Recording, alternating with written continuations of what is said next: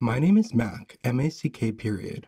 I'm a Arts student studying Studio for Interrelated Media and minoring in Sustainability.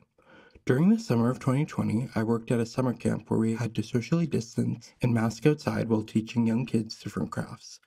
After this experience, I became interested in creating virtual Skillshare workshops to expand my experience with demographics and health protocols. Studio for Interrelated Media, or SIM for short, is where students can work in a combination of experimental media. The program teaches sound, light, performance, and event production, and is the first of its kind in the country for an undergrad degree.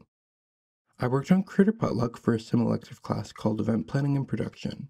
During these three semesters, from spring 2021 to spring 2022, I hosted four different events featuring eight different student and outside artists.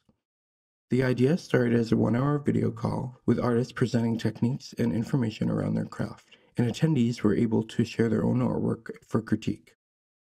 Johann Freitas is a graphic designer from Brazil. He's the first artist we had from outside the United States. Johann started the call with a five minute artist talk, which was not recorded in this video.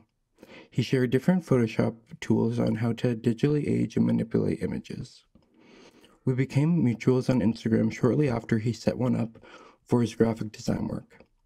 After talking casually back and forth about music and messages, I started talking to him about Creative Potluck through Instagram and we went from there.